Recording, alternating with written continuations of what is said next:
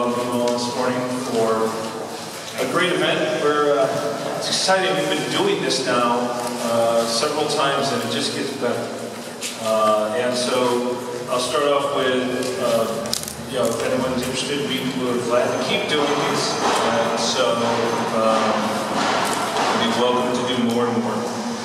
But this morning, uh, as we're uh, first event at the Gina Santori Library, Gina Richard Gina Santori Library, we're here to accept a great gift uh, from a great foundation uh, set up by someone who has long uh, given, uh, significantly given to uh, the community.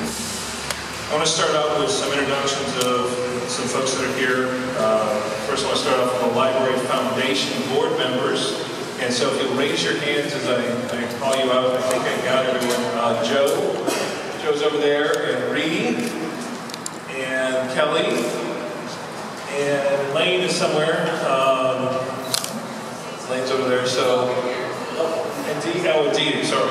Yes. Uh, so that is some of our, our foundation board members that will make it this morning. Uh, from the library board, we have Stuart Beach, John Savage, Dick Hawks, Archie Needham, Marie Lozano, and Jeff Butler, who's up here in front. Uh, we also have state representatives Linda Chapa LaVia and Stephanie Kifowitz, and of course the Honorable Mayor Weisner, who I didn't recognize at first, um, given his, his incredible.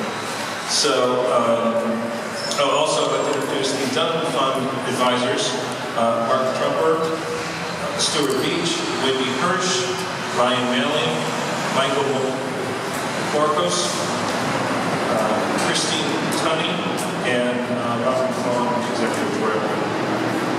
We're here today to announce the uh, grant from to the Library Foundation from the Dunham Fund.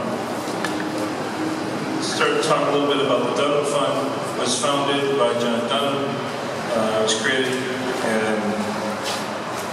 and said that the fund should make the world a more comfortable, safer place for mankind to live and prosper through wise gifting. In 1931, Mr. Dunham began working at Equipto, a company his father founded in 1907. He worked his way up from sweeping the floors to retired as chairman in 1984. Mr. Dunham is greatly respected for his commitment and enterprise in education.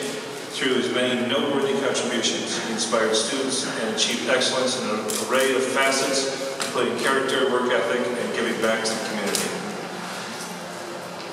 Uh, because we're a library, we have people do these research things, and uh, they, were able to put in some notes for me that uh, the Dunham Fund has given 150 gifts, 150 grants since 2007 to a large number of outstanding organizations throughout the community, and that is translated into $20 million uh, given uh,